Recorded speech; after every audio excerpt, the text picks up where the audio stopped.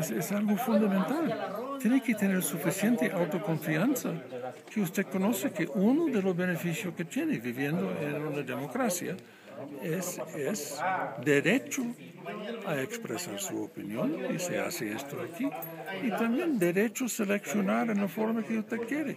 ¿Viene algo con camiseta? Acéptalo. ¿Tiene que votar por esa persona? No. ¿Debe ser la política, debe haber el clientelismo? Bueno, es, es, mira, hay un gran número de gente común y corriente que tiene problemas muy básicos. Si yo estoy papá viviendo en Macas y mi hija no tiene zapatos para ir a la escuela.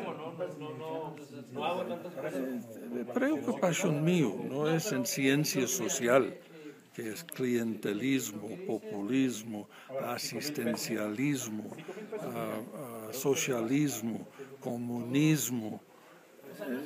Mi preocupación es mi hija no tiene zapatos. Y entonces tengo que buscar una forma. ¿Eso dice que el gobierno debe dar zapatos a todo por regalo? No, no necesariamente, no. Pero hay un montón de formas de ayuda. Tal vez, ojalá se puede buscar empleo, ideal.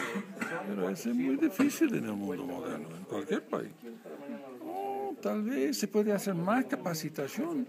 Entonces esta persona puede buscar empleo. O tal vez hay una forma de asistencia mínimo por el momento. Aquí tiene ese bono de derechos humanos. Es limitado en tiempo, no es por su vida. Pero tal vez es suficiente que compra los zapatos por el momento, pero